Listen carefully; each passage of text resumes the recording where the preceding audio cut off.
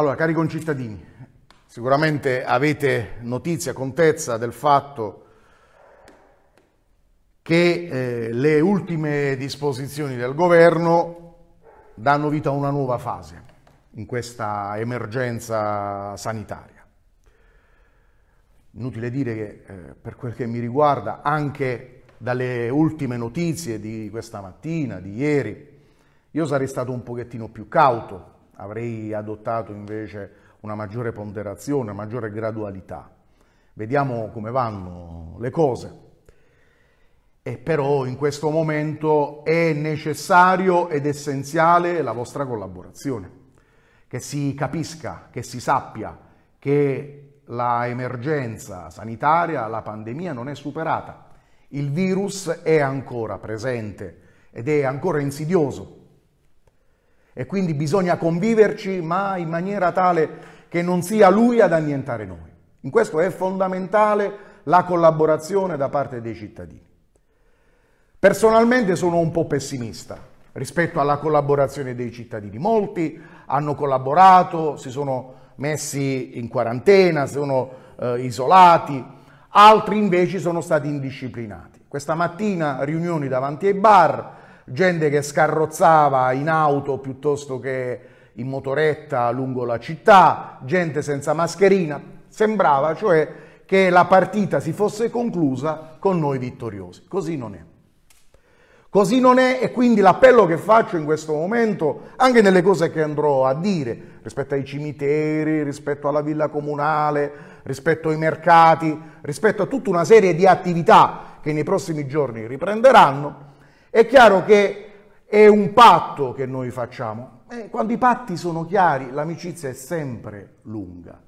Noi faremo queste aperture nelle modalità che nel seguito vi dirò, ad una unica condizione, che non ci siano situazioni di assembramento, di disordine, di eh, vicinanza tra gente che non, non rispetta il distanziamento sociale, perché nel caso in cui ciò dovesse essere non esiterò un secondo a tornare sui miei passi. Ma questo è quello che vi dirò poi nel seguito rispetto a tutte queste problematiche che vi ho accennato. Vi voglio dare i dati, i dati sono aggiornati al 2 maggio del, 2000, del 2020 e la fonte di questi dati è eh, diciamo, la direzione dell'ASL, quindi fonte assolutamente ufficiale ed attendibile. Eh, per la città di San Severo il dato che emerge in maniera positiva è diciamo, le diverse guarigioni che abbiamo avuto negli ultimi giorni, ben 28 guarigioni. Significa cioè che eh, di coloro i quali erano stati presi in, in cura, molti di loro, ben 28, sono guariti. Quindi allo Stato ci sono 88 positivi cumulativi, 28 guarigioni e 11 decessi. Questo è il dato che si conta eh, per quanto riguarda la città di San Severo. Naturalmente il dato che va rimarcato rispetto alle guarigioni è che la, la, gran parte di queste guarigioni sono avvenute in una situazione di non ospedalizzazione ma attraverso cura a domicilio. E va dato atto a tutti i sanitari, a tutti gli operatori, in particolare al dottor Morlino che eh, ha, diciamo, merita una menzione particolare per l'impegno profuso, proprio perché di questi guariti mm, la gran parte sono stati curati non in ospedale ma a casa loro. E questo è un dato positivo, perché se fossero andati in ospedale eh, probabilmente avrebbero alimentato dei focolai di contagio e quindi avrebbero propagato e contagiato altre, altre persone.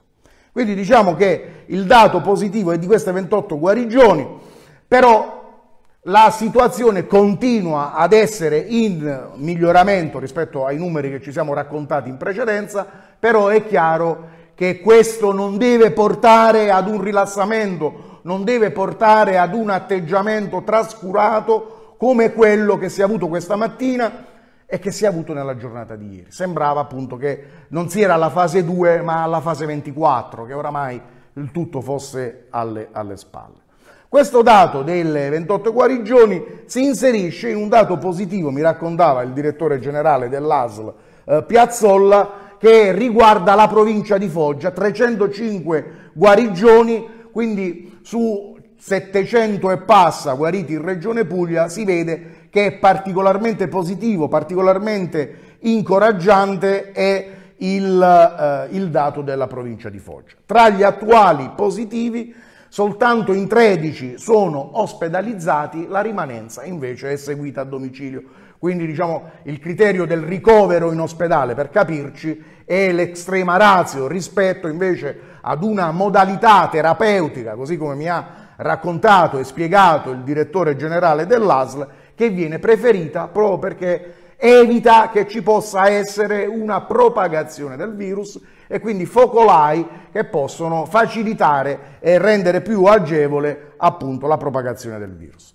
Naturalmente tutto questo passa, lo ribadisco, a rischio di essere noioso, di essere ripetitivo, di dire sempre le stesse cose, attraverso un comportamento di collaborazione che ci deve essere da parte vostra. È vero